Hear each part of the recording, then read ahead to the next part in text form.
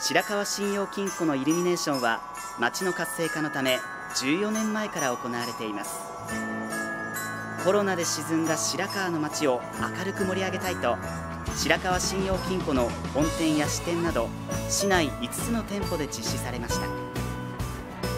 合わせておよそ10万個の LED 電球の光が白河の街を暖かく包んでいます。昨年からのこのコロナ禍でですねこのイルミネーションのね、えー、明かりで、え、少しでも気持ちが和らいで暖かくなると。イルミネーションは来年1月中旬まで楽しめます。